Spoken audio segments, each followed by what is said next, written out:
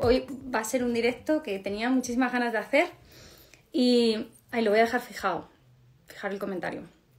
A ver si lo he escrito bien. Hablamos con Cristóbal de lector élite de lectura ágil, veloz y comprensiva. A ver, ¿cuántos de los que estáis aquí, escribirme, os gusta leer? Ahora me decís, a mí no, a nadie, no nos gusta a nadie. Bueno, ya está por aquí, qué rápido es. Dando hacer un poquito de encuesta y no, me ha dado tiempo ni a, ni a hacer encuestas. Bueno, pues irme diciendo, irme diciendo cuántos de los que estáis aquí os gusta leer. Lo que tú cuentas es siempre muy interesante. Hombre, ya estás aquí, Cristóbal, que no estaba segura si entrabas ya o no. Sí, ya, ya estoy, estoy acá, feliz, feliz. Qué rápido, qué bien. Que estoy preguntándole a la gente, porque digo, voy a poner aquí el título, si a la gente le gusta leer, porque digo, igual la gente que está por aquí no le gusta, pero por ahora nadie ha dicho que no le guste leer. Ah, no te hicieron quedar mal, eso es lo bueno. Nada, no, por ahora todo el mundo me ha hecho quedar bien, pero es que además yo venía de leer justo una historia tuya, no me he quedado con el nombre, un señor que decía que se había leído 66 libros, me parece que eran dos meses. Sí. Bueno, sí, pues habíamos hecho un, reto con él y, bueno, habíamos llegado al punto de que un libro le dure máximo 50 minutos. Eh, completo, con buena comprensión, con mapa mental de por medio. Y ahí es donde empezamos a, romper un poquito la, cabeza de las personas, porque muchas veces dicen, ¿y eso realmente es posible? Mira, están diciendo que sí, que les gusta leer mucho, vale. Y, y si ahora os dijera que hay una persona, que Cristóbal, que sabe de leer y encima nos enseña a leer rápido, veloz y con comprensión, que esto es lo que ya me deja loca, pues ya que, que no te lo puedes creer. O sea, en 50 minutos me parece demasiado. Yo creo que te has venido muy arriba, ¿no? Ah, bueno, ya sí, yo creo que, que entré muy, muy arriba.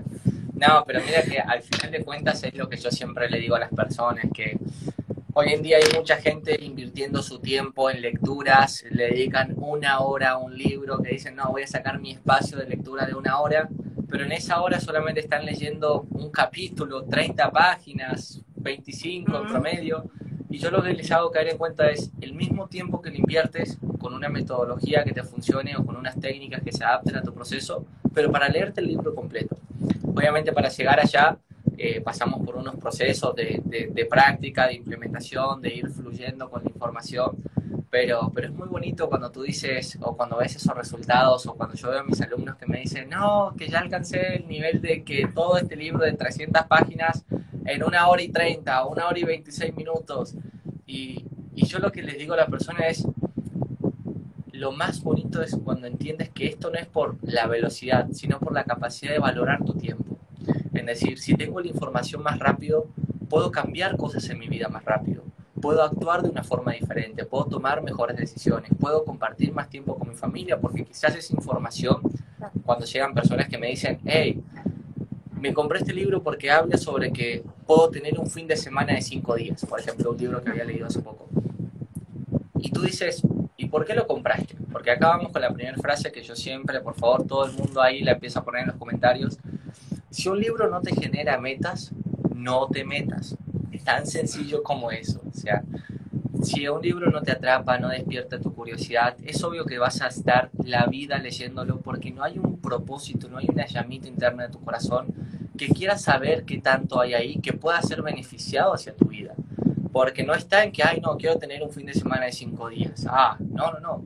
¿Por qué quiero tener cinco días? Quizás quiero compartir más con mis hijos, quizás quiero eh, empezar a viajar, quizás quiero empezar a compartir más tiempo con mi madre, con mi padre. Hay una intención detrás de ese objetivo principal. Entonces, yo siento que un libro siempre tiene que despertarnos metas para poder fluir con la información y obviamente implementarla de una forma correcta. Cristóbal, eh, voy a decirle a la gente que nos está viendo, porque están dejando preguntas, que lo dejen por favor en la cajita de preguntas, que luego yo las voy a rescatar de ahí y te las hago. Y me dicen también que hay ruido. No sé si es tuyo o mío. ¿Tienes una ventana abierta o algo? ¿Puede ser? creo, déjame, creo que es esto. Déjame ver. Venga. Es que claro, fijaros que yo estoy en España, él está en Colombia y allí es de día, son las 3 de la tarde y aquí son ya las 10 de la noche. Está todo oscuro. Yo antes he visto una foto que has mandado con luz natural y digo, jo, qué envidia. Sí, debía ser eso, porque ahora ya, ahora ya no se oye. Bueno, antes de que me meta en materia, que tengo mucho que preguntarte y por aquí están dejando un montón de comentarios. ¿Quién es Cristóbal Verasaluce? Porque eres papá, tienes dos niños, eres una persona inquieta, tienes, me parece que 24 añitos. Yo pongo 25 hace un mes atrás, hace un mes. Bueno, bueno, bueno.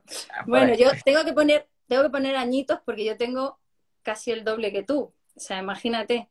Y fíjate lo que has logrado con tu edad. O sea, tiene un mérito, vamos, que yo me quito el sombrero y de verdad ojalá hubiera existido alguien como tú hace unos cuantos años, porque estoy pensando en mi época de carrera, que ahora me viene de maravilla porque tengo que leer mucho, pero yo estoy pensando en los, en, los, eh, los que van a la universidad, los, los universitarios, pero los adolescentes también. O sea, lo que estás diciendo es como revolucionario.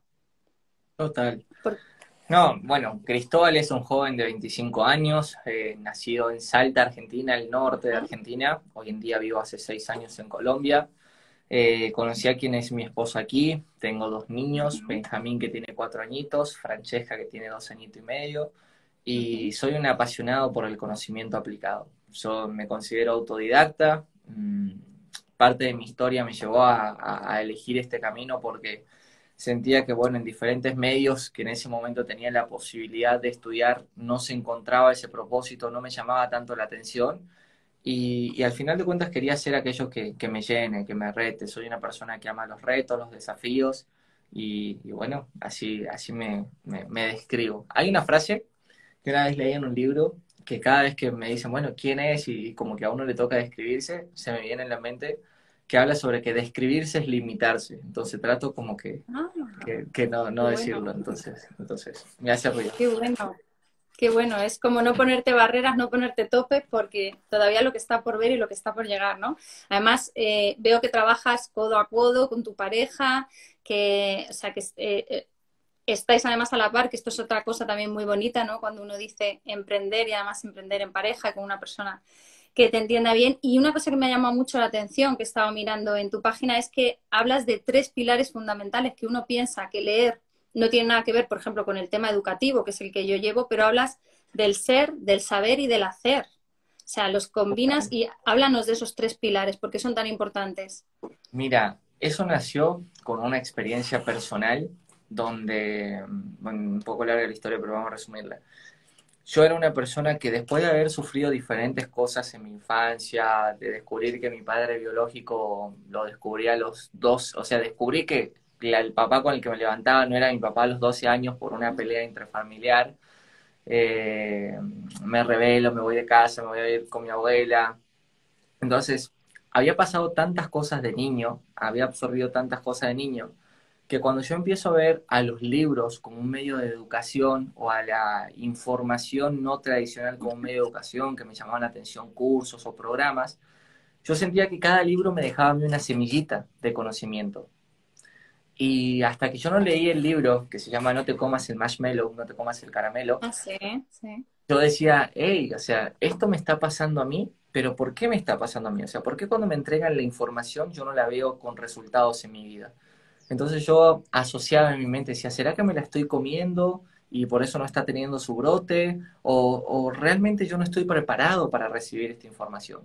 Entonces me empecé a hacer muchos cuestionamientos y justo pasaba por una etapa personal, donde venía con muchos dolores físicos, sobre todo jugando fútbol, muchas lesiones en el mismo tobillo, al punto que el club donde jugaba me contrató un coach personal y ese coach apenas descubre mi vida y se da cuenta que siempre, o sea, me recuperaba el tobillo y de nuevo el mismo tobillo y por cualquier cosita el mismo tobillo y llega a hablar conmigo con un libro en la mano y me toca el hombro y me dice, Cristóbal, ¿qué paso no estás queriendo dar en tu vida?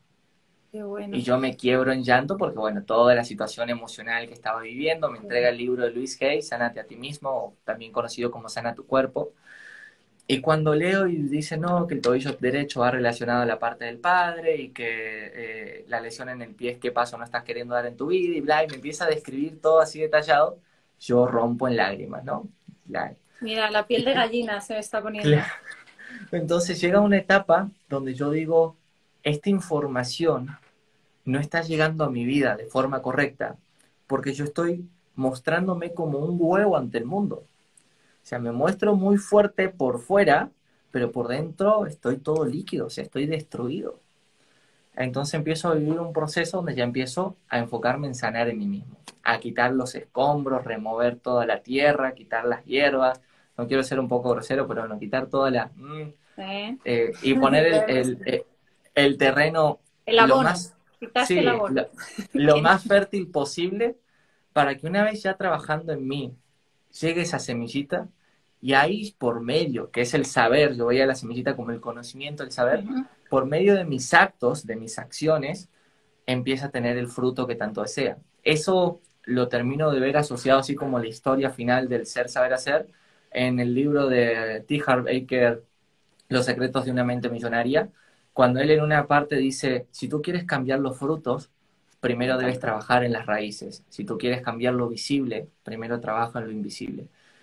Entonces, ahí es donde nacen estos tres pilares y, bueno, yo siempre hablo en mis cursos, en mis programas y en mis metodologías, siempre busco crear todo lo que hubiese necesitado ese Cristóbal del pasado. Y, basado en él es que, en que sale todo este proceso y bueno, y hoy en día eh, nos está permitiendo inspirar la vida de muchísimas personas. Cierto, por aquí estaban comentando además que estaban haciendo tu curso, Diego Merchan, y, bueno, dice, hermano, encantado con todo. O sea que yo me he apuntado al título Sana tu cuerpo y, me he quedado con una cosa. Eh, tú el otro día decías que habías leído 739 libros en un año. ¿De verdad te acuerdas de todos los que lees? Sí. Eh, es, que, mm, cuéntame. resulta que yo estaba compitiendo el año pasado para leer los mil libros en un año. Eh, era una competencia a nivel mundial, quedé en el puesto número 14 a nivel mundial y allá por octubre del año pasado llega una etapa en mi vida donde yo eh, me bajo de la competencia, bueno, lo hablo primero con mi esposa, luego se lo comparto a mi equipo y, decido bajarme de la competencia, estando nada, la verdad, de, de terminarlo, porque ya sentía que, que había mucha información que había consumido, y acá lo veo yo como el termostato a nivel emocional, mucha información que había consumido y que quería empezar a implementar, ya no enfocado en el premio de los mil libros eh, leídos, sino es que ya lo quería empezar a ver desde mi legado, o sea, lo que yo quería sembrar y transmitir a mi comunidad y bueno, en mi legado como tal. Entonces, cuando empiezan a estar estos dos choques de por medio entre el tener que informarme, aprender y el dejar la aplicación para después, yo dije, no, eh, hasta aquí llego. Lamentablemente, de todas las editoriales que me estaban apoyando en ese momento, algunas siguen apoyándome, otras ya no, porque al haberme bajado la competencia también trajo sus consecuencias a nivel personal. Pero dije, hey, qué bueno, o sea, el año pasado había leído los 365 libros en un año, o sea, el anterior año, que quería marcarme el promedio de un libro por día, y este año, el año pasado, perdón, llegué a los 739 y este año decidí soltar, o sea, porque me decían, hey, que inscribite, qué tal, y dije, no, me voy a enfocar más en otra parte. Y, y, hay gente que cree que literalmente uno se la pasa leyendo y no es así. Yo he hecho transmisiones en vivo donde le muestro a las personas cómo me leo. Por ejemplo, empecé leyéndome eh, cuatro libros en un día y mostrando mis en vivo cómo los leo, cómo los resumo, cómo comparto la información. ¿E-, ¿Eso, ¿Eso se puede ver en algún sitio? Sí, bueno, los tengo en YouTube. En YouTube pueden ver, yo abro el libro desde cero o sea, desde cero, y empiezo a leerlo y les empiezo a compartir toda la información que hay ahí adentro. Entonces la gente va viendo cómo voy haciendo mi mapa mental. He ido creciendo mucho. Si ven los videos de YouTube, primero lo hacía en, mis, mapas mentales, que son estos. Mira, yo tengo este de un... Mira, yo me estoy leyendo uno, ¿lo estoy haciendo bien? Sí, sí, va bien, va bien. Muy bien. Nosotros, nosotros es, en los mapas siempre ponemos como un concepto en el centro, una idea principal, que puede ser el título del libro, y cada ramificación puede ser un capítulo o una pregunta que te estés haciendo. Entonces, eh, al principio empezamos así en YouTube, hoy en día, bueno, ya tenemos eh, el iPad y la gente puede ir viendo el proceso mucho más detallado desde el iPad y, cómo lo vamos construyendo. Y, hoy y el reto pasado que lo eligió la audiencia fueron 12 libros en menos de 8 horas. O sea, eh, 12 con la audiencia? la audiencia es mi, comunidad, mi gente de Instagram. Ah, decían, decían, hey, o sea, 12 libros y que los, los elijan ellos y, obviamente uno no... Eso, es lo que eso preguntaban por aquí, Cristóbal, ¿qué tipo de libros lees? Todo tipo, o sea, tu comunidad en este caso, te... todo tipo. De todo. Obviamente tengo mis, mis, mis gustos personales, dependiendo de la etapa. Empecé hace unos años leyendo mucho sobre finanzas porque estaba en una situación financiera que quería superar y siempre recomiendo tres libros para que me ayudaron a salir de una deuda de 5 mil dólares en menos de 30 días, eh, que es La transformación total de su dinero, Detox financiero y el otro se llama Por fin libre de deudas. Esos tres libros, literalmente en menos de 30 días, fue, fue increíble. Y es ahí donde yo le digo a las personas la importancia de consumir la información de forma veloz porque de esa misma forma tú vas a tener las herramientas para ir a enfrentarte al desafío que tú tengas, pero ya con la seguridad de que, hey, es que esto yo lo aprendí, ahora es cuestión de simplemente aplicar para validar. Y, desde ahí empezar a testear, ¿no? Que es el verdadero testeo por medio del resultado. Quiero decir, es que eres un peligro, porque de repente tienes un problema y dices, hay un libro sobre esto, me lo leo, ya está, lo resuelvo. Mira, yo tengo una frase que, que dice así, aquella persona que tú admiras hoy en día está donde está porque sabe algo que tú aún no sabes y tu deber es aprender que es, es averiguarlo, ¿no? Entonces, es ahí donde yo siempre estoy 100% enfocado.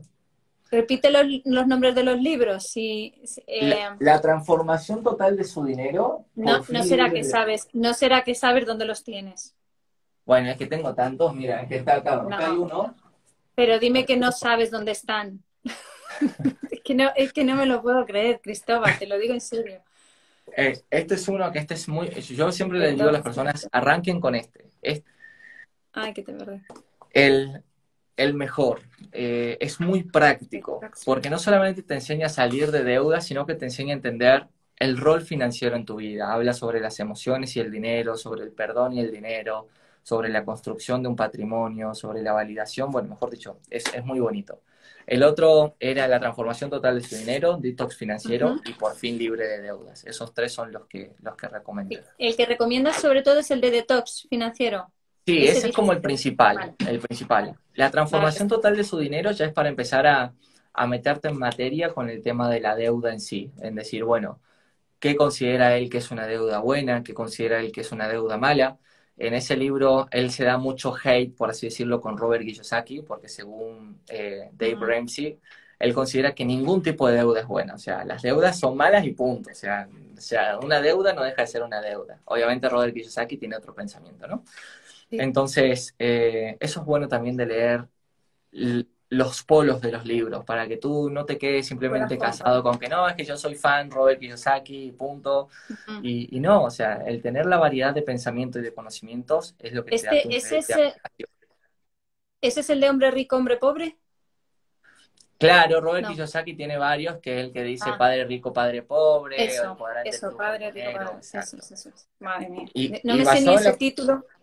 Sí, no, basado en la pregunta que me hacías es, yo leo todo lo que tenga que ir alineado con mis metas y mi propósito. Entonces, por ejemplo, ahora que estamos construyendo un equipo, estoy leyendo mucho de liderazgo, creación de equipos exponenciales, equipos de altos rendimientos, eh, desempeño al máximo, o sea, todo lo que tiene que ver con este enfoque. El día de mañana que, que estoy leyendo sobre desarrollo y superación personal, que me encanta, por cierto, hace poco me leí un libro brutal que no lo veo porque estoy seguro que lo debe tener mi Por aquí está la, por aquí está la gente como yo, está, estamos con cara de admiración, de miedo, porque eh, te puedes meter abogado, te aprendes todas las leyes, te puedes meter a política, revolucionas un país, o sea, y encima esto lo enseñas. Sí, no, y, lo que yo le digo a las personas es, eh, tengo muchos libros ahí físicos, abajo tengo otra, otra biblioteca, pero no se trata solamente de leer libros físicos, o sea, por favor. Sí, digitales es justo era otra de las preguntas que yo te iba a hacer, que preguntan también por aquí, porque claro, cuando dices mil libros, yo digo, ¿y dónde los guardas? No, claro, no, no, no. no y, lo más loco de todo es que hay veces que me toca viajar y, y anteriormente yo era de los que dejaba el 60% de la maleta para libros y ropa no me importaba repetir, o sea, eh, prefería mil veces llevar los libros. Pero en varios, en varios lugares ya los libros tenían un peso importante, entonces dije, no, no, no, tengo que aprender la metodología para aprender a leer de forma digital y, aprender a, disfrutarlo de forma digital también, porque hay muchas veces que la gente dice, no, prefiero el papel, no, la verdad, cuando tú tienes un propósito claro eh, y tienes una intención verdadera hacia la información, y ese propósito, hay una frase que a mí me encanta, que la leí una vez en, en un hermoso libro, que dice, todo aquello que sueñas, si pasó por tu mente y por tu corazón, es porque realmente te pertenece.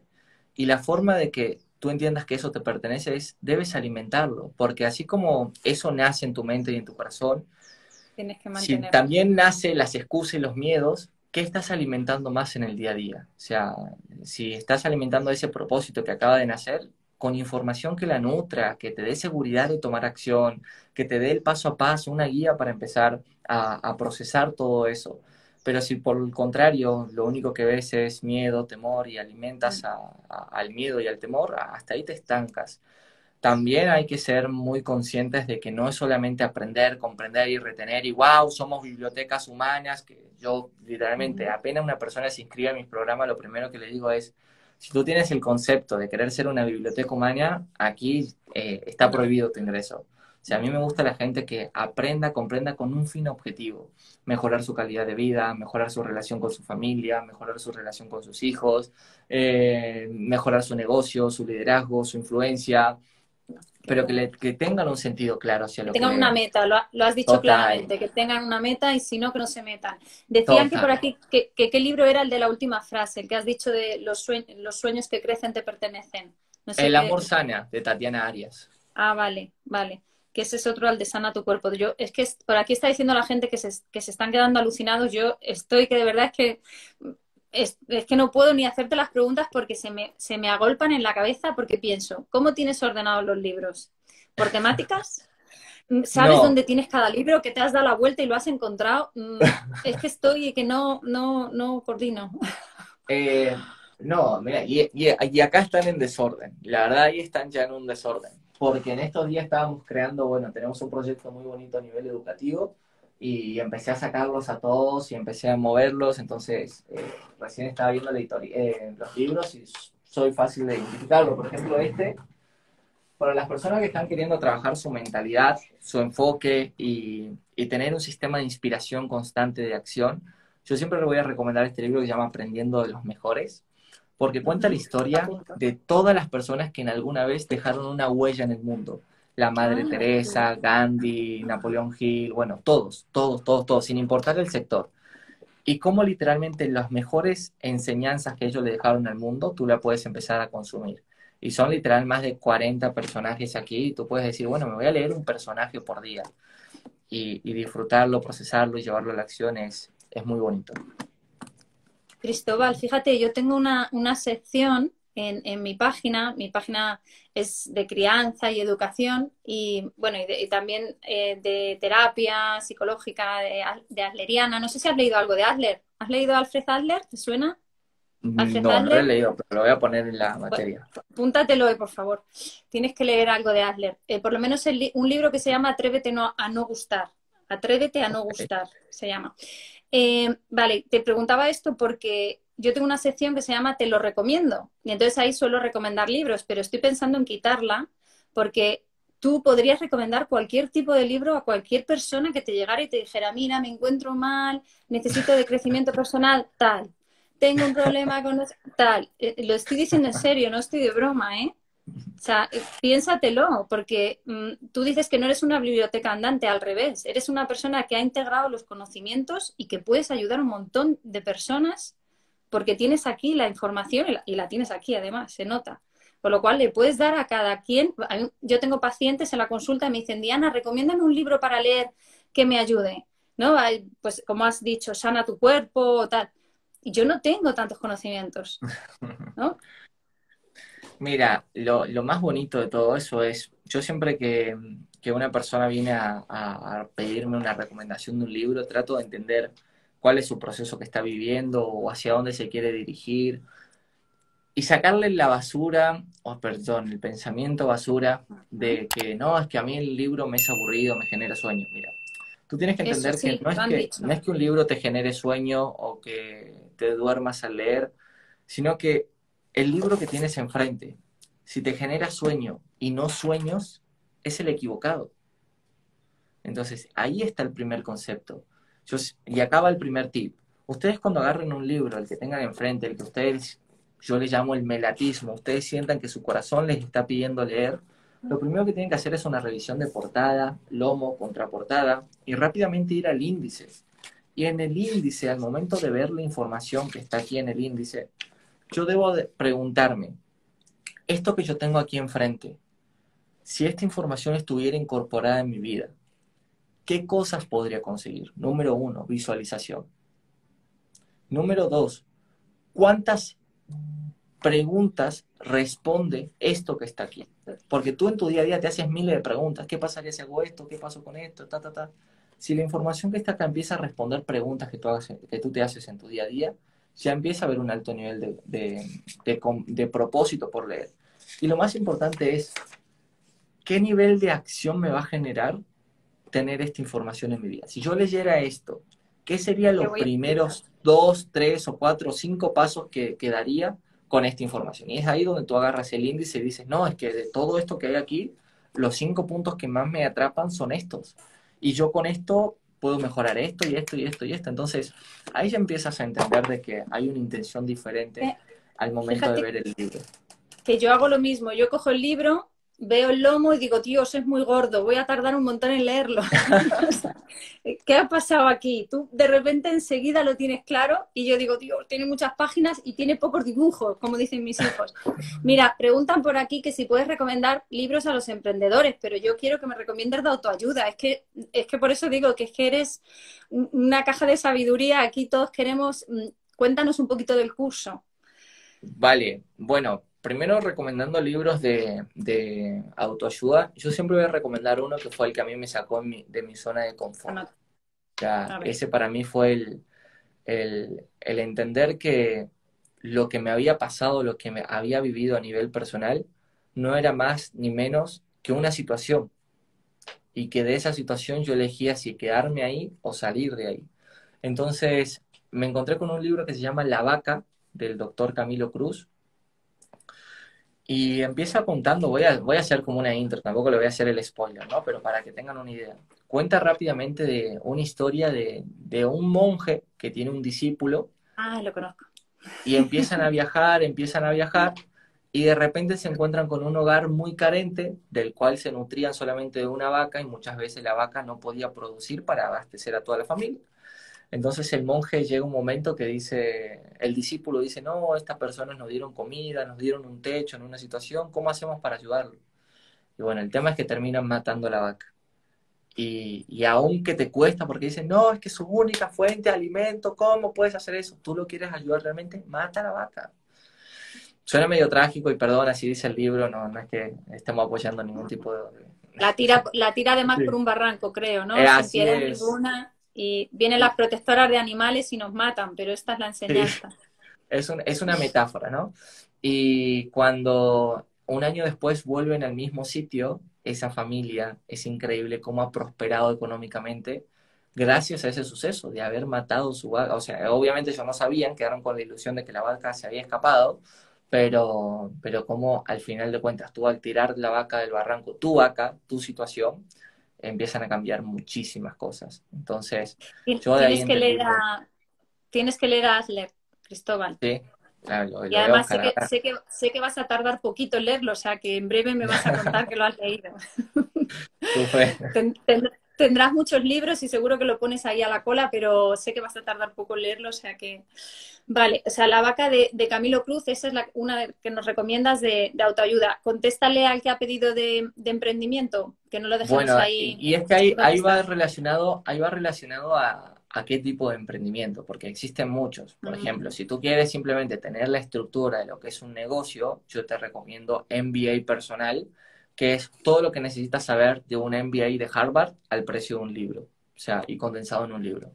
Entonces, es muy estructurado, muy loco, muy, muy bueno, muy completo. ¿Qué es más? Acá lo tengo. Lo tienes ahí. Es que tiene de todo este muchacho, es que no os hacéis Acá está. Eh, lo que se aprende en un MBA por el precio de un libro. Así es el lema. Y, es muy completo. Perdóname que te, perdóname que te interrumpa. ¿Es, eh, ¿Marcas los libros o no? Buena, buena pregunta. La verdad, en lo personal, no, pero yo sí le digo a mis alumnos que sí. Ahora te explico por qué yo no lo hago. Porque yo soy de que cuando yo recibo a mis alumnos una vez al año en el programa avanzado, que lo hago aquí en la ciudad de Cali, eh, yo llevo toda mi biblioteca, llevo más de mis mil libros y se los pongo a disposición a mis alumnos. Entonces, a mí me pasaba que yo los marcaba y luego yo veía la cara de confusión de los alumnos queriendo entender por qué yo marqué eso. En vez de entender lo que... Exacto, en vez de entender el mensaje que el libro tenía para ellos, se enfocaban en lo que yo había marcado. Entonces dejé de hacerlo y desde el momento en que dejé de hacerlo, ellos tienen su propio despertar y descubrimiento y, para mí es lo que más vale en este proceso, ¿no? Eh, pero en lugar de marcarlo, sí empiezo a utilizar muchos post-it, que son eh, los papelitos de colores al costado del libro. Y siempre le digo lo mismo a las personas, ya que estamos tocando este tema. Si tú resaltas los libros o manejas papelitos de colores, por favor que no sea uno solo. O sea, dejen de cometer ese error. Si ustedes no tienen la información organizada enfrente, no estará organizada en su mente. ¿Y qué quiero decirles con esto? Que tienen que tener un color, sea resaltador o post-it, uno para ideas, otro para ejercicios, otro para metáforas o historias, otro para conceptos vitales que tú hayas agarrado, otro principal para los campos vacíos. Yo hablo de campos vacíos para aquellas palabras o conceptos que no entendiste y que debes reforzar quizás con un video o con una búsqueda en Google. Porque si tú dejas ese campo vacío ahí, la información ya no fluye. O sea, dejaste un hueco, no hay un puente que la procese y hasta ahí te llegó la información. Recordemos que nuestro aprendizaje neuronal es por medio de conexiones y ramificaciones. Entonces, cuando dejamos ese punto ahí flotando y no hay ninguna ramificación que entienda y que comprenda, hasta ahí llegó ese aprendizaje. Entonces, para que lo puedan, para que lo puedan entender de que eh, igual ustedes pueden elegir la categoría que quieran, pueden tener una específico para clientes, si es que leen para sus clientes. Eh, muchas agencias que, que, que entran a nuestro programa y dicen, no, yo leo porque cuando leo no solamente leo para mí, sino que ya estoy pensando en la situación que está viviendo tal cliente, entonces tienen un color especial para eso. Y ustedes son libres de que tener la categoría que quieran, que deseen, pero no con uno solo, por favor. Prohibido uno solo. Vale, vale. O sea, los colores ayudan además a retener. Yo creo que luego hay que hacerte como una especie de leyenda, como hago yo, porque luego si no se me olvidan a mí los colores de qué, de qué son cada cosa. Pero bueno, imagino que eso es entrenar, ir entrenando la mente. Y aprovechando de eso, te pregunto, dices en, tu web, pones que hablas de creencias, emociones y hábitos en la lectura. ¿Y qué tienen que ver todas esas tres cosas? Las emociones, las creencias y los hábitos. Las creencias son 100% alineadas que eh, Henry Ford decía, tanto si crees que es posible va a ser posible, pero si crees que es imposible, completamente no podrás hacerlo. Entonces, las creencias cumplen un rol vital en lo que yo le llamo tu termostato de aprendizaje. Si tú crees que eres una persona que un libro se le demora un mes, hasta ahí está tu termostato. Y el día que te encuentres con alguien que tú dices, hey, se lee un libro en 50 minutos, rompe tu termostato, choca con tu termostato y dices, pero ¿cómo puede ser si es que a mí me demora un mes? ¿Vale? es lo mismo pasa a nivel financiero. T. Baker habla del termostato financiero que dice, si tú crees que solamente puedes generar hasta, no sé, mil, dos mil, tres mil dólares por mes, eh, hasta ahí llegaste, pero existe gente que está produciendo más que eso.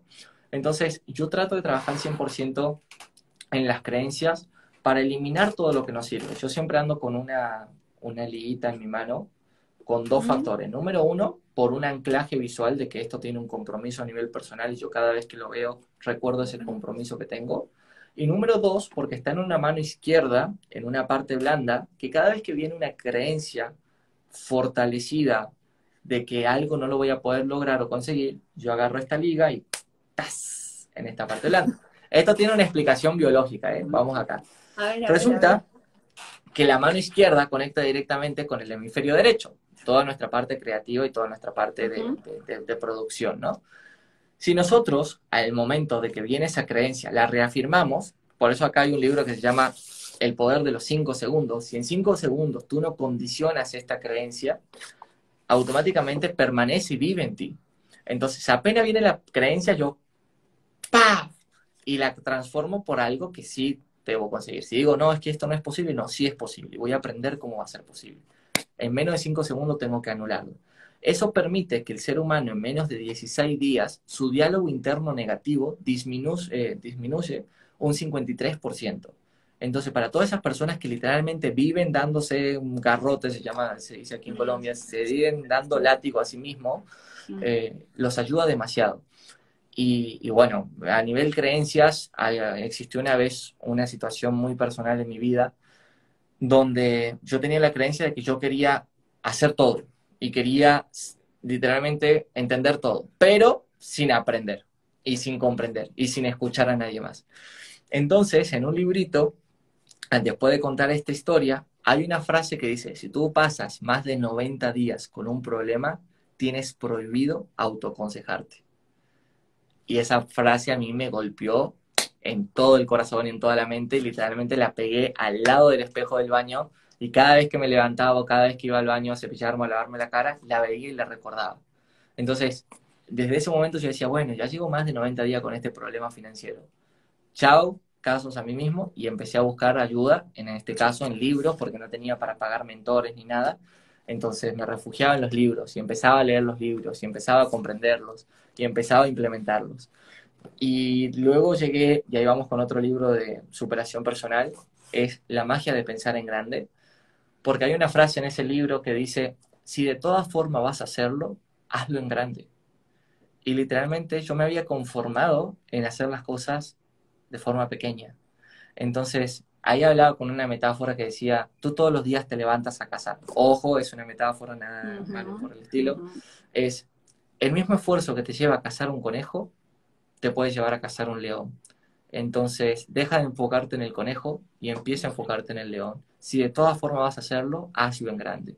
Entonces, bueno, desde que entendí esa frase y empecé a incorporarla en mi vida y empecé a implementarla, muchas cosas. Cristóbal, es que, no, es que no leen los comentarios, dicen que este chaval es Dios. Es que yo, ¿has leído algo de lenguaje corporal? Porque si has leído algo de lenguaje corporal, yo es que estoy que no doy crédito porque me estás creando una necesidad. Mi marido te va a odiar porque le voy a decir, yo necesito ese curso y de verdad, te estoy diciendo de corazón, porque a mí no me gustaba leer hasta que me hice mayor y me encanta leer, pero reconozco que me cuesta un montón y se me acumulan. Yo tengo aquí una pila de libros y aparte por mi trabajo, pero es que me estás dejando alucinada porque además eh, preguntaban por aquí, pero además se saben los títulos y los autores y yo, claro, te lo sabes, efectivamente. O sea, te voy a hacer una pregunta personal que si no quieres no me respondas. ¿Te has hecho algún test de inteligencia?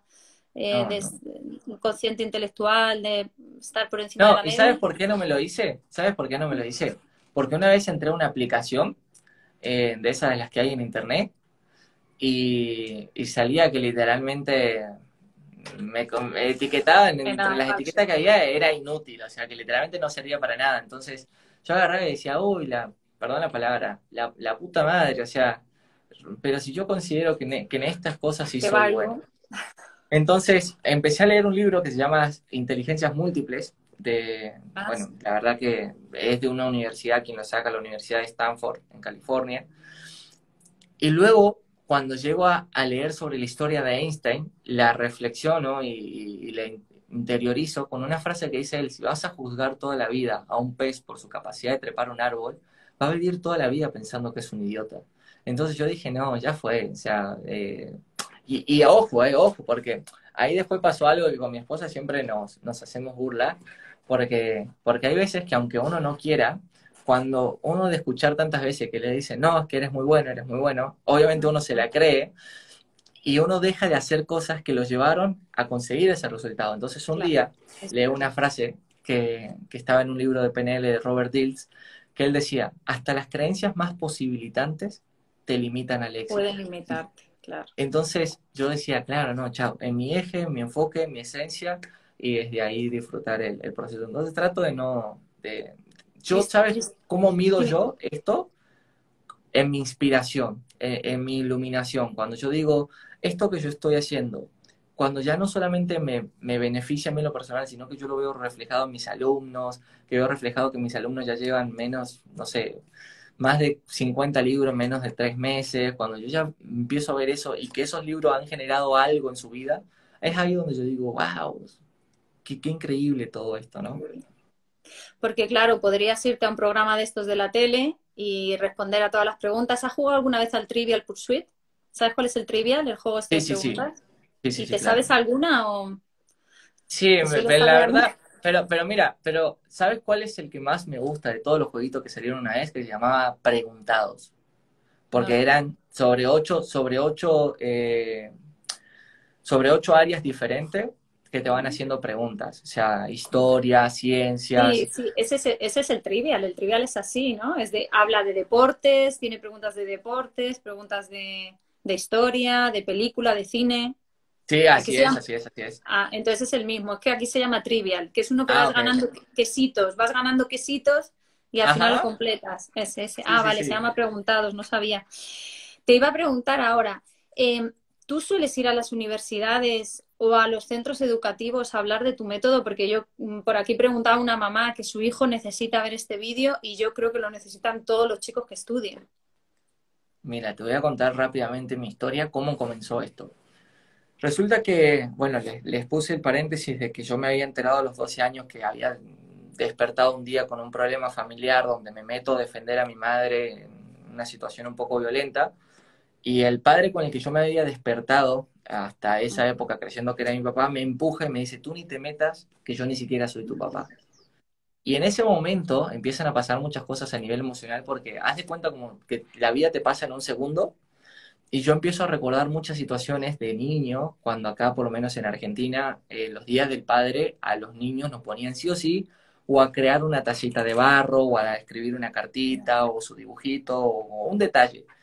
Y resulta que yo siempre que llegaba con el detalle el día del padre a la casa, mi detalle se encontraba siempre en las noches en la basura. Y era muy fuerte. O sea, de parte de mis de mi madre y los hijos que él había tenido con ella, normal, en, la ventanita, todo hermoso, pero el mío siempre, sí, o sea, fueron cosas fuertes, fuertes, fuertes. Entonces, a los 12 años me voy de casa, eh, yo le digo a mi madre como que me diga quién era mi verdadero papá, no me quiere decir, entiendo, entendía su, su frustración, me decía que cuando sea más grande yo no lo aceptaba, me voy a vivir con mi abuela, porque ya literalmente ya no podíamos convivir en esa situación, mi abuela me recibe, y yo empiezo en esos tres años, hasta los 15 años, a acumular mucha rabia y odio hacia mi, hacia mi mamá. Porque yo la acumulaba cada día donde yo iba a tocarle la puerta a tíos, abuelos. Mi abuelo se murió sin saber ni siquiera quién era mi papá. Y era algo que ella lo sabía, pero no se lo había comentado a nadie, literal. Y no era de que mis tíos, no, yo la cubro, no, nadie sabía. O sea, hasta ellos mismos se hacían la pregunta yo empecé a, revisar su Facebook, a, a, compararme con los amigos hombres que tenía, a ver si con alguno más o menos. Y no, hasta que a los 15 años de regalo de cumpleaños me dijo, bueno, te voy a decir, yo estaba cerradísimo, decir, bueno, dame nombre y apellido, no me interesa más nada. Y me dijo, no, de eso tenés que saber la historia real. Y me empieza a contar, me empieza a comentar de que lo de ellos había sido una vez, eh, sucedió. A las tres semanas ya se, no, tres, cuatro semanas se entera de que está embarazada. Obviamente no se había vuelto a ver con él, pero cuando quiso ir a decirle, eh, resulta de que él tenía mujer y la mujer tenía un embarazo de, no sé, cinco o seis meses, que es con mi hermana con la que nos llevamos un, tiempito, nos llevamos como cuatro o cinco meses. Eh, entonces ella decide guardárselo, se pone en contra de toda la familia, obviamente, la familia queriendo saber, ella no le dice a nadie y como todo derecho ser humano rehace su vida con un hombre al poco tiempo de que me tiene a mí y, bueno, empezamos a, crecer creyendo que yo era hijo de él. Cuando me da nombre y apellido me dice, no lo, me lo muestra en Facebook, me dice, no lo puedes agregar por nada en el mundo porque él no sabe que vos existís y le dije que teníamos que vernos de vida o muerte, él está viajando a la ciudad para, para ver qué tanto es de vida o muerte, mañana le voy a decir recién y hay que ver la reacción de él, yo no sé cómo pueda reaccionar él, si sí, si no, eh, entonces nada, yo ya cumplí con decirte, pero no lo vas a agregar. El tema es que ellos tienen una conversación, él acepta conocerme y cuando acepta conocerme, eh, él me invita a visitar su casa que era en otra ciudad, él vivía en otra ciudad, y cuando llego, él encuentro en él una, en su casa una biblioteca gigante. Y su plan, su casa era de dos pisos. Yo hasta ese momento a nivel personal con mi mamá habíamos pasado muchísima necesidad económica, o sea, situaciones muy fuertes a nivel emocional. Entonces cuando yo llego ahí yo dije, wow, o sea, vive diferente, una biblioteca, en mi casa no había nada de libros, o sea, eh, y lo más loco de todo es que él los tenía ahí, pero no los leía, o sea, esos libros eran de la casa que él en ese momento alquilaba o arrendaba. Cuando empieza a pasar todo eso, él dice, bueno, espérame acá que yo voy a subir a, buscar a tus hermanas para presentártela. Fue la espera más larga en mi vida, creo que tuvo como 15 minutos ahí en el segundo piso. Y yo al principio como que sentado esperando que bajen por esa escalera y después como que dije, no, voy a ver qué hay por acá y, y empecé a agarrar un libro. El primer libro que agarro, porque me llamó la atención el título, era Padre Rico, Padre Pobre. Y me llamó la atención el título por el contexto personal que yo estaba viviendo. Que yo decía, bueno, mi padrastro esta situación, mi papá biológico esta. Y empecé a leerlo y me atrapó, me atrapó, me atrapó. Cuando él se da cuenta que, bueno, compartimos tres días juntos, él me dice un día, mira, Cris, eh, ya te tienes que regresar con, con, tu abuela, con tu madre. Eh, y yo le digo, ¿sabes qué? Yo tenía, iba a cumplir 16 años. Le digo, eh, mi madre tiene estos planes para mí de que si yo no terminaba siendo futbolista, tenía que estudiar en la, en la Armada, bueno, con los militares, porque no había recursos para pagar alguna de las carreras que yo quería, pero dentro de la milicia sí podía prestar servicio y a la vez aprender. Le digo, hasta que cumpla 18 años me gustaría vivir este tiempo con vos. Y le fui sincero y le dije, me gustaría recibir el amor del papá que, nunca tuve. Y él me agarra y me dice, ¿y qué tan rápido podés estar acá? Y me dice, y yo, y yo agarré y le dije, no, mañana mismo estoy acá. Y él no se la creía. Yo llegué a mi casa, le dije, hola, mamá, empecé a armar maleta, a mi mamá se le rompió el corazón, obviamente, porque no entendía nada. Empecé a buscar en el colegio donde estudiaba el, el permiso para trasladarme a otra ciudad. Y llegué con él al otro día y apenas llegué me dice, ¿sabes qué? Con vos voy a implementar algo completamente diferente. Eh, con tus hermanas siento que le di todo y que, que no lo están valorando, así que vos te vas a ganar las cosas. Yo internamente decía, uy, justo a mí, la, la madre. Sí, pero, pero después dije, listo, no hay lío. Y él empieza a sembrar en mí, él no leía, pero empieza a sembrar en mí como me había pegado los libros, me dice, bueno, por cada libro que te leas, eh, yo te voy a dar un beneficio económico y con ese beneficio económico vos vas a ver qué querés hacer. Todo iba muy bien. El problema es que un libro eran tres meses, cuatro meses. Y cuando llegaba, que él me decía, bueno, de qué trataba el libro y como que, que explicarle, habían capítulos que yo había leído al principio del mes que ya no me acordaba. Mi comprensión y retención estaba por el piso, entonces yo me frustraba horrible. Y yo decía tanto tiempo con un libro para después no tener nada. Y ahí empezaron a haber bloqueos emocionales. Eh, él en ese tiempo empieza a, a, hacer unos entrenamientos en línea, que él los sábados y los domingos, en lugar de salir y compartir, no, él se quedaba todo el día encerrado, sábado y domingo encerrado en su habitación viendo un curso de programación neurolingüística en esa época. Y yo literal al principio por, yo dije, no, debe estar viendo una película. Me acostaba en la cama al lado de él, como para ver, recibir un poco de amor, ¿viste? Y yo lo veía él tan metido, enfocado en eso, y yo no entendía nada, y estaba súper avanzado, y yo, bueno, al cambio de estar acá, y de repente eso que estaba ahí, que no lo entendía, me empezó a llamar la atención. Un día él tenía que hacer un ejercicio para, para rendir un examen, y dice, ¿sabes qué? Eh, necesito a alguien que tenga mucho rencor, mucho odio y empezó a contactar amigos a ver si tenían alguna situación y le digo, yo, yo, yo siento que tengo una situación con mi mamá muy fuerte. Me dice, listo, vos me vas a servir para mi examen. Cuando me aplico una técnica eh, de programación neurolingüística y literalmente yo sentí un alivio emocional como que, uff, o sea, como que todo ese odio, ese rencor se había desvanecido y había empezado a entender a mi mamá. Y, y llamé y a pedirle perdón, o sea, fue algo muy bonito a nivel personal.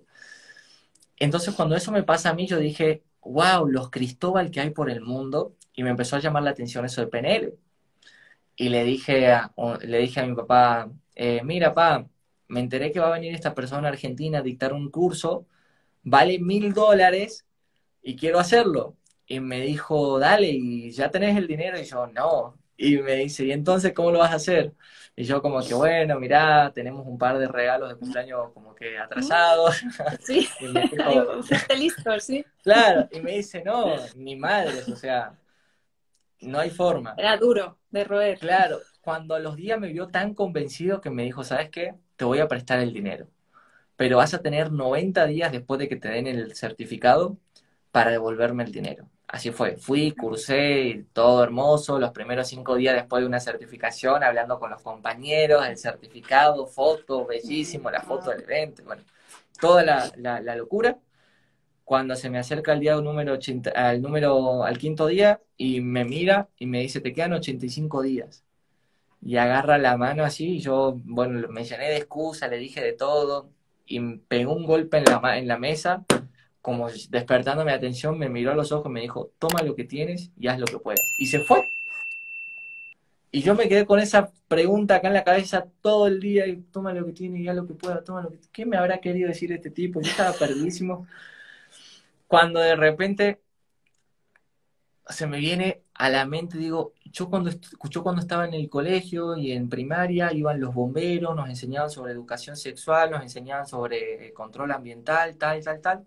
¿Por qué no enseñar de técnicas de estudio y motivación con PNL a los jóvenes de mi edad? O sea, se me vino así, ¡pum! Y dije, tengo el equipo de sonidos de la casa, tengo el micrófono con el que hacemos karaoke, tengo un computador viejito, pero lo tengo. Tengo, tengo el conocimiento, ya, agarré un Word en ese momento, armé la propuesta más horrible de mi vida, feísima, y empecé a, a tener la intención de ir a los colegios.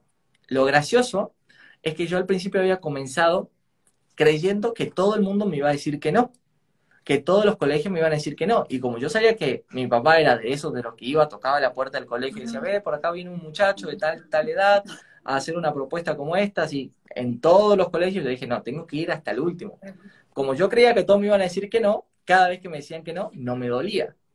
Y cuando me miraban así de forma rara, no me dolía. O sea, yo decía, vengo por un no, me dan el no, no hay problema. Al número 33, que lo recuerdo claramente, era el último, faltaba una cuadra y media entre uno y otro colegio, yo ya venía pensando, digo, bueno, listo, este me dice que no, le voy a preguntar a, mi padre si me da la posibilidad de darme un tiempo más, empiezo a vender unos postres, hago unos postres con mi mamá, eh, lo puedo ayudar con otras cosas. Ese colegio me dice, sí, dale, pero ¿sabes qué? Nosotros no te vamos a pagar nada. Y yo, no, ¿cómo así? Pará, escuchame, o sea, me dicen que sí, pero ¿cómo funciona esto? Me dice, no, resulta que cada alumno va a ser libre de querer escucharte o no, y vas a cobrar algo, así una tarifa mínima, eh, que fueron como creo que 4 dólares, 5 dólares, no lo recuerdo bien. Y, y, cada alumno va a elegir si quiere escucharte o no. Y yo, ah, bueno, listo, sí, perfecto. Empecé a ir salón por salón. El chiste es que yo dije, yo le decía a mi, en ese momento a mis hermanas, ¿qué años, ¿Qué años tenías ahí? Tenía 16 años. Tenía 16 años. Y le empecé a decir a mis hermanas, le empecé a decir, no, yo me imagino que irán 20 chicos, como muchos, que eran los que yo veía eh, interesados. Cuando el día del, del, evento como tal, era en el aula magna, habían 932 jóvenes ahí sentados por escucharme y yo atrás de la tarima en mi vida me había parado en público. Yo estaba sufriendo de todo lo que te imaginé, eso estaba sufriendo yo y, empecé a sentir como que se me agitaba el pecho, yo no quería salir, estaba como loco. Salgo, dicto la conferencia, termina siendo un éxito, yo no podía creer, yo dije, no, apenas me controlo yo, controlar a 932 como yo, eso es una locura, ni loco. Y los jóvenes ahí parados, escuchando al ritmo, había sido muy dinámica la, la, la experiencia termina el, evento, habíamos logrado un resultado económico increíble. Hablo de logrado porque mi hermano, era tanta gente que me tocó llamar a mi hermano que me ayudara en la puerta a cobrar. O sea, yo ya no podía estar pendiente de cobrar y ir a la tarima. fue una locura. Y el colegio me agarra y me dice, bueno, sabemos que te ha ido muy bien, no te vamos a pedir nada eh, económico a cambio, pero sí te voy a pedir que el día de mañana nos des una capacitación a los profesores de qué hiciste para tenerlos tan entretenidos en ese tiempo. Y yo le dije, no, ustedes están locos, yo 16 años hablándole a profesores, no, pará, eh, eso no era así, yo solamente quería hablarle a los jóvenes, a los niños. Y bueno, se dio la oportunidad y terminé hablándole a los profesores y para mi sorpresa, entre esos profesores estaba el secretario de Educación de la ciudad, que terminó haciéndome una propuesta para capacitar a los otros 32 que me habían dicho que no. Y así empezó, o sea, mi historia como tal empezó en colegios y universidades y aportando mi granito de arena a colegios y universidades. Llegué a Colombia por eso, porque me hicieron la invitación para venir a, capacitar a una universidad de Colombia con 19 años y de ahí llegó otro y otro y otro colegio y otro colegio hasta que conocí aquí a, quien es hoy en día mi esposa y decidí quedarme aquí en Colombia.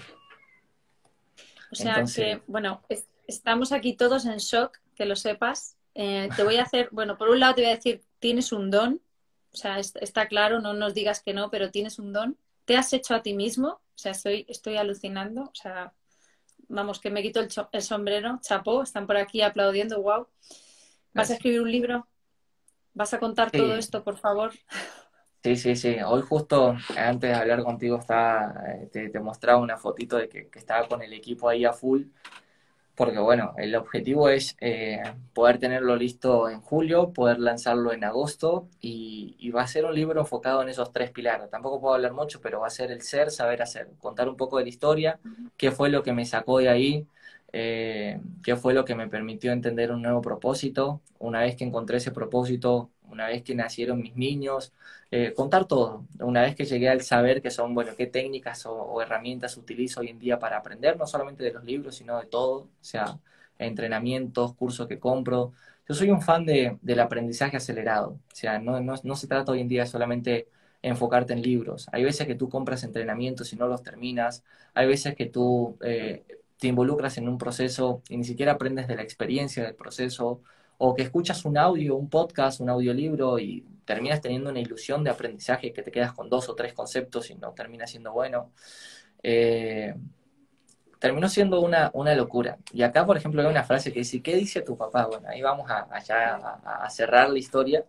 Resulta que cuando yo llego a Colombia y conozco a quien hoy en día es mi esposa, a los 37 días de habernos conocido, obviamente nos veníamos escribiendo hace muchísimo tiempo, pero ya así estar carne y hueso a los 37 días ya queda embarazada. Yo con 19 años y ella con 24, recién graduada del colegio. Cuando llego con la historia a decirle a mi papá, eh, yo siempre agradezco haber leído mucho sobre eso, sobre cerrar ciclos, sobre trabajo interior, porque cuando yo llego con la historia a comentarle a mi papá lo que me había sucedido, eh, él en ese momento siendo representante mío, me pide por favor de que yo no me haga cargo y, o plan B, que ella abortara el bebé, que no lo tuviera. Y eso chocó tanto en mis esquemas mentales por lo que yo había vivido que yo dije, no, es que yo no quiero otra vez abrir el ciclo, o sea, que se repita la misma historia, que, que, suceda exactamente lo mismo.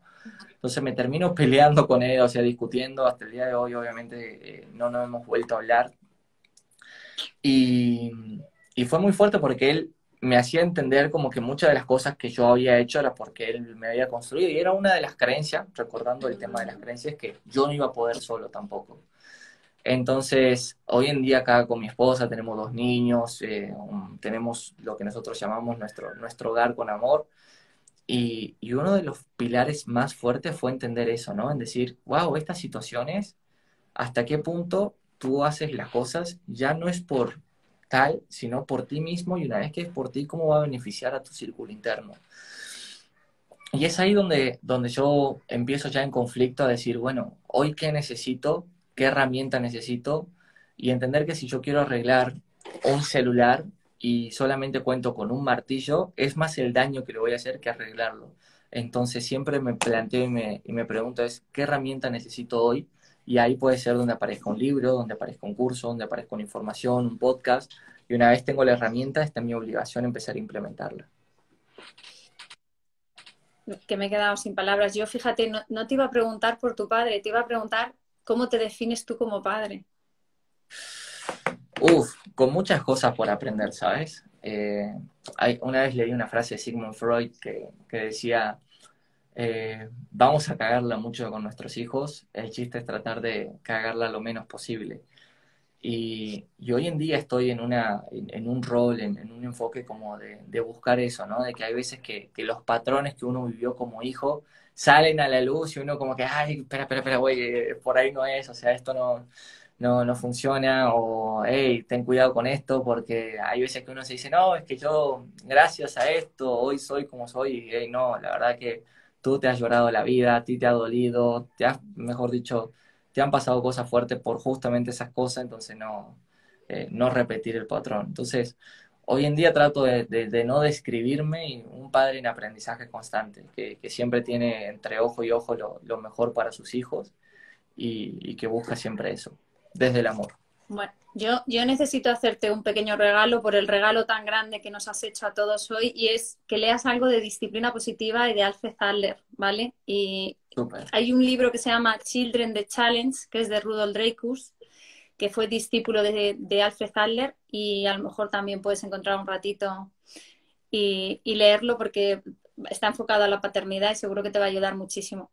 Que bueno, están diciendo por aquí que, admirable, que tienes una historia de vida, de superación que yo, bueno, no, lo sabía, ¿eh? de verdad que me ha encantado conocerte y es, maravilloso que gracias a la situación que estamos viviendo, pues tengamos estas redes sociales para acercarnos estando tan lejos y que personas de, pues eso, personas que me siguen a mí puedan llegar a personas como tú. Y, y, sobre todo lo que te decía, darte la enhorabuena y darte las gracias por haber creado ese método porque yo creo que estás ayudando a muchísima gente. Había aquí un montón de preguntas, mm, pero ya no te quiero entretener más. Solo mm, háblanos muy brevemente del curso. ¿Quién lo puede hacer? y qué tienen que hacer si quieren hacer tu curso? Mira, hoy en día tenemos dos cursos diferentes. Uno va a depender 100% el proceso que quiera vivir cada persona. Uno se llama Óptimo Lector, que te permite leer de 3 a 5 libros por semana con un muy buen proceso. Es uno de los cursos más completos que, que, tengo, eh, uno de los más accesibles también y que tiene una comunidad hermosa. Mira, tú entras al grupo de Telegram y el apoyo y el enfoque y ver a esa gente leyéndose esa cantidad de libros y ver los resultados. Es muy bonito, aparte porque te enseña a hacer mapas mentales, a tener un módulo sobre aprendizaje acelerado, un módulo sobre técnicas de estudio, resúmenes de libros, gimnasia cerebral, bueno, es muy completo, con el enfoque de que lo puedan hacer no solamente una persona, sino que ese entrenamiento esté en un hogar, en familia. Porque, hey, mira, si tu enfoque es leer más o comprender más o, tener una mejor habilidad con la lectura, pero también tienes niños que quieres incursionar en la lectura o que quieren que le esté yendo mejor a nivel educativo, ese, ese programa cubre todas esas áreas.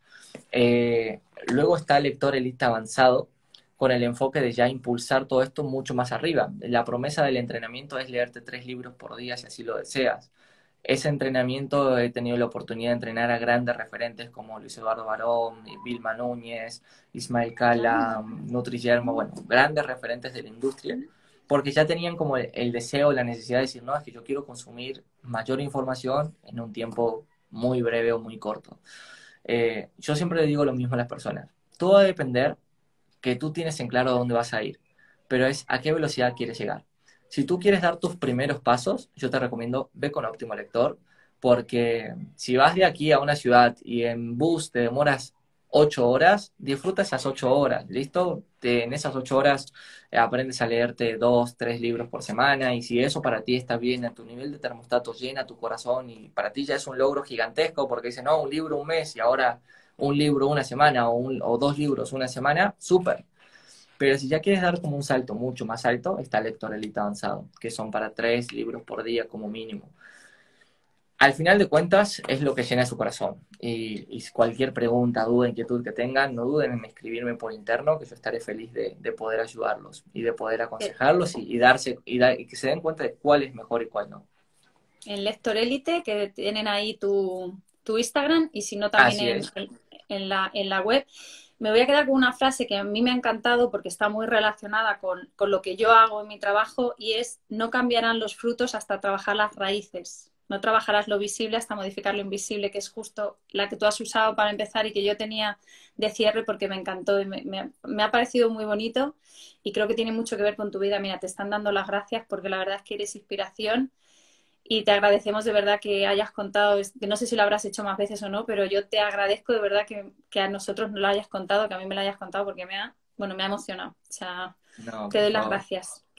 pues cuídate mucho, cuida mucho a tu mujer, a tus pequeños, ¿vale? Y bueno, estamos en contacto porque te escribiré. No, por favor, por favor, con muchísimo gusto. Feliz. Un besote gigante para todos. Fue hermoso compartir con, con, con, ustedes. La verdad que sí. Ahí veo, por ejemplo, preguntas que dicen que si el curso es online, sí, todo es online. Y no tiene tiempo de caducidad, son de por vida. Eso es lo que a mí me gusta. O sea, no, no me gusta poner los límites a las cosas. Entonces, un besote gigante para todos y bueno, encantado de servirles. Guardo, guardo el, el directo. Muchas gracias, Cristóbal. Gracias a todos. Chao, chao.